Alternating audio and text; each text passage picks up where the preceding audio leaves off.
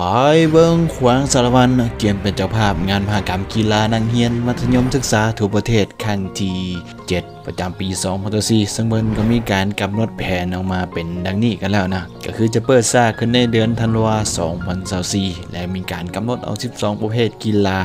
เข้าร่วมสิงใส่หลังจากที่เพิ่นก็มีการประกาศอย่างเป็นทางการในกองประชุม เผยแพร่ข้อมูลมาด้วยการแต่งตั้ง 10 กรรมการจัดงานมหกรรมกีฬานักเรียนมัธยมศึกษาทั่วประเทศครั้งที่7และก็ขอตกลงมาด้วยสหพันธ์กีฬากายกรรม 12 ประเภทกีฬาจะเพิ่นก็จัดขึ้นในวันที่8มันก่อน 2024อยู่ที่แหวงสารวันนั่นเองนะ ส่วนในพิธีดังกล่าวทานสมใจอุ่นจิตห้องเจ้าแขวงแขวงสารวันผู้ชินำของเขตเบียกงานวัฒนธรรมสังคม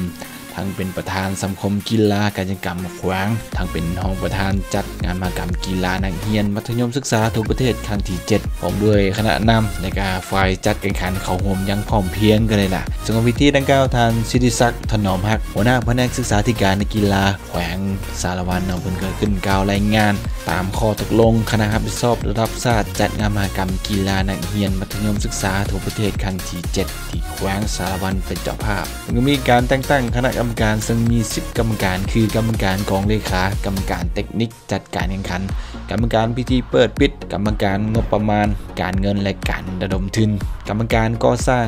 ซ่อมแปลงพื้นทางโครงลาง กรรมการที่พักอาหารการขนส่งในการประดับประดา กรรมการพิธีการตอนรับและการย่องยอกรรมการโฆษณาประชาสัมพันธ์ กรรมการแพทย์และปฐมพยาบาล กรรมการป้องกันศาสตร์ป้องกันความสงบเพิ่นก็มีการแต่งตั้งอย่างเป็นทางการกันแล้วนะซึ่งดังนั้นเพิ่นมีการ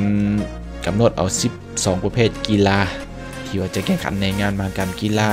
มัธยมศึกษาทั่วประเทศครั้งที่ 7 สังสพันธ์กีฬาประเภทต่างๆ ประกอบมีสพันธ์กีฬามวย บานเตะ บานทรง ดอกปีไก่ปิงปอง บานบ่วงหมากแร่เปตังกระต้อ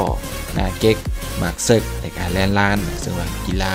จำนวน 12 ประเภทกีฬานี้แข่งขันในงานมหกรรมกีฬานักเรียนมัธยมศึกษาทั่วประเทศครั้งที่ 7 ซึ่งว่าถ้ามีข้อมูลใบอีกอย่างแอดมินจะมีการรายงานให้ตื่นก็แล้วกัน